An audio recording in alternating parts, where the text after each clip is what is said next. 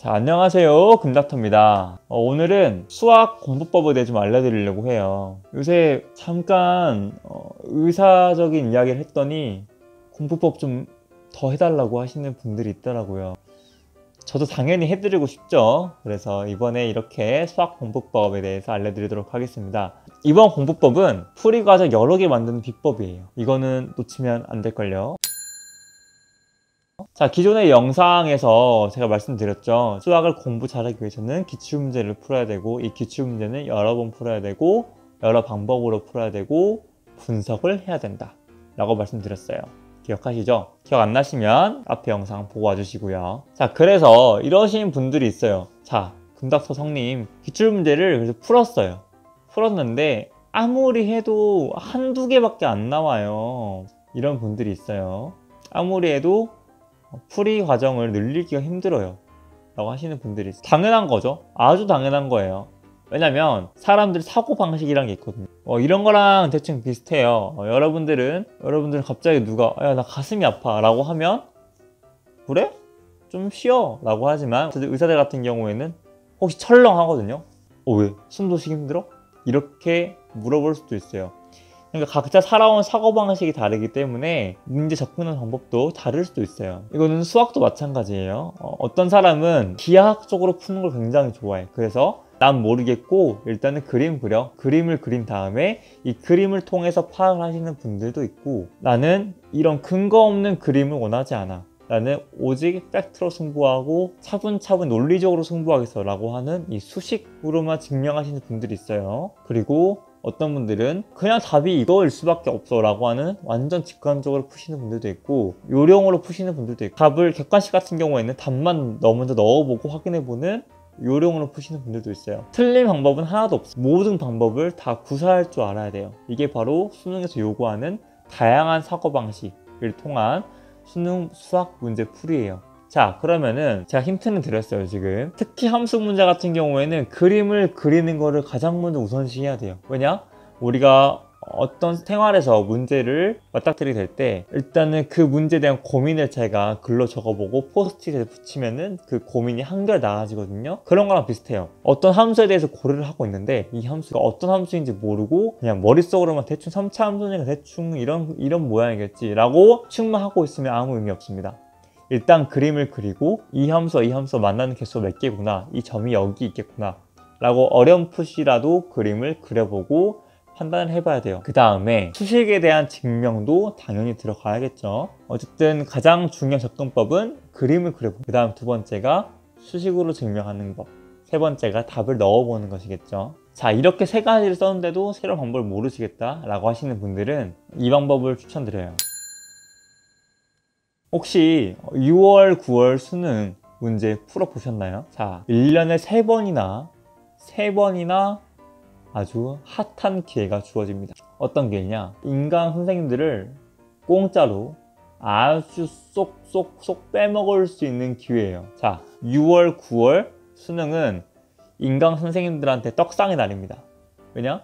이때 라이브로 바로 해설을 때려버려야 되고 그래야 사람들이 바로바로 바로 보기 때문에 보통 시험 끝나자마자 1시간, 2시간 이내로 바로 그날 풀이 강의를 해요. 자, 이 해설 강의는 선생님들의 접근법이 담겨 있는 것입니다. 예를 들어 뭐 기하학을 좋아하는 한성원 교수님 같은 경우에는 바로 그림을 그려보시는 분들이 있고 현우진 같은 선생님들은 또 그 선생님만의 방식이 있겠죠. 그리고 우리가 잘 모르는 EBS에서도 방송하시는 분들은 또 그 선생님만의 접근법이 있습니다. 우리는 어떻게 이용해야 될까요? 전 분명히 말씀드렸어요. 한 문제당 고민이 20분 이상 지났고 집중해서 20분 이상 지났고 이 문제의 힌트 그리고 모든 것을 파악했음에도 불구하고 새로운 문제 접근법이 일어나지 않을 때 생각나지 않을 때 이 방법을 써보세요. EBS에서 한번 6월 2018년 혹은 2017년 6월 모의고사 해설 칩니다. 그러면은 영상이 떠요. 자 이 영상을 가지고 헷갈렸던 문제들 그리고 4점짜리 3점짜리 문제들을 한 1.5배속으로 풀이를 들어봅니다 그리고 내 풀이와 일치하는지 일치하지 않는지 확인을 해봐요. 이 선생님들은 내가 알아내온 힌트를 사용했나? 얼마나 사용했나? 어떤 식으로 사용했나를 정확하게 기억해 놓습니다. 띠용. 그 다음에 최고로 일타 강사라고 하는 현우진 선생님. 한석원 선생님, 다른 수학 선생님들의 강의를 또 봐요. 정말 좋게도 행운이기도 6월, 9월 수능은 떡상 강의이기 때문에 보통 공짜입니다. 공짜. 그래서 우리는 공짜로 이 선생님들의 접근법을 훔칠 수 있어. 싹 다. 특히 수능 문제는 범위에 있는 문제들이 안 빠지고 나오는 편이기 때문에 중요한 문제들은 웬만하면 접근법을 다 배울 수 있어요. 5개년치만 접근법 배워도 5개년치만 배워도 6월, 9월 수능에다가 선생님들 세 분만 해도 벌써 5 곱하기 3 곱하기 3, 9, 5, 45 45개 정도의 접근법을 알 수 있습니다. 소름 돋죠? 공짜로 이런 좋은 방법을 알 수 있다니.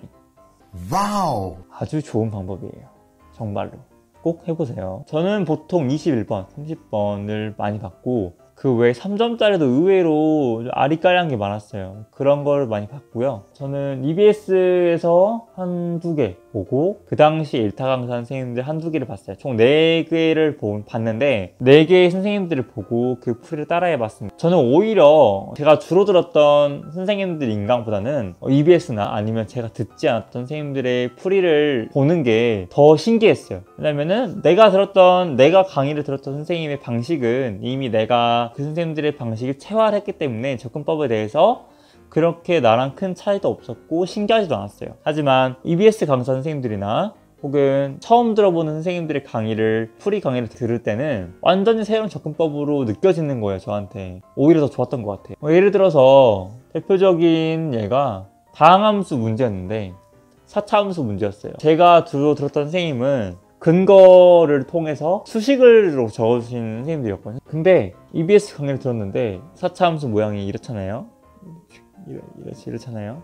이 모양을 보고 그냥 직관적으로 바로 이제 그려버리시는 분들 있더라고요. 그러니까 함수를 다항함수니까 다항함수는 4차 함수 같은 경우는 a의 x-알파 제곱, x-베타 제곱에 어, 플러스 b라고 하면 바로 4차 함수 그려질 수 있었어요. 그 당시 그 모양이. 그래서 그런 접근법도 아는 게 되게 신기하더라고요. 여러분들도 어, 너무 한 선생님만 듣지 말고 가끔은 그렇게 EBS 강의나 새로운 선생님들 강의를 해설 강의를 들어보는 게 도움 될 것 같아요. 저는 이런 식으로 이걸 매일 하진 않았고요. 어, 보통 일주일에 한 번 정도 했어요. 왜냐면은 일주일 내내 고민을 했기 때문에 문제에 대해서 한두 문제는 고민을 했기 때문에 그런 문제들이 쌓이다 보면은 토요일에 일요일 같은 경우는 인강 day였거든요. 생물이나 물리 인강 day이기 때문에 인강 day 하면서 EBS나 이런 해설 강의 들어본 거죠. 그래서 그런 방식을 익히고 그 방식을 노트에 적었어요. 그러니까 뭐 예를 들어 함수는 그림을 그리자 양수인 경우 음수인 경우 나눠가지고 두 번을 생각해보자 이런 식으로 적어놓기도 하고 그 다음에 한 번에 함수를 만드는 법을 생각을 해보자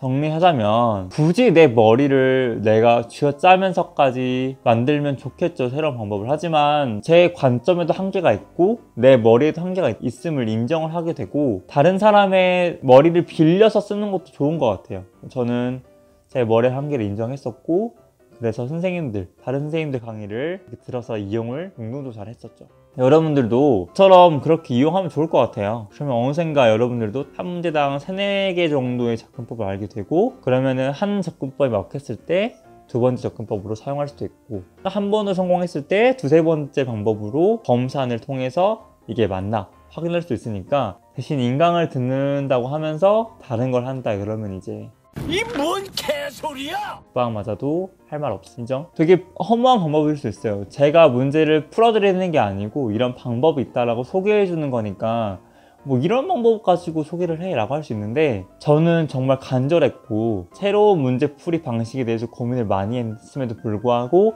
시간이 매우 부족해 그래서 이런 방법을 사용했다는 거 알아뒀으면 좋겠습니다 네 여러분 오늘도 봐주셔서 정말 감사합니다. 추가적으로 수학 영상은 앞으로도 두세 개 정도 더 올릴 거예요. 여기까지 금닥터였습니다. 오늘도 감사합니다